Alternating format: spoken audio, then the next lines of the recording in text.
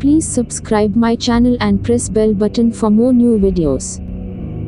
According to recent findings by space experts, an asteroid that's larger than the tallest building on Earth is set to skim past the planet in two weeks' time. The space rock has been dubbed 2002 AJ129 and it's bigger than the half-mile tall Burj Khalifa skyscraper. Set to pass Earth on February 4th, the asteroid will miss our planet by 2.6 million miles. That's still close enough to classify it as a near-Earth object and potentially hazardous by US space agency NASA. If the 1.1 kilometers wide asteroid was to strike us, it would likely send up enough soil and dust to blanket the planet and plunge Earth into darkness. NASA explained that the chances of dangerous asteroid striking the Earth during any given year is low because some past mass extinction events have been linked to asteroid impacts. However, humanity has made it a priority to find and catalog those asteroids that may one day affect life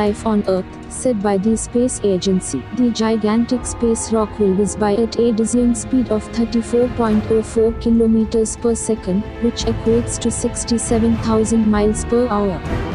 Please subscribe my channel and press bell button for more new videos. Thank you so much for watching.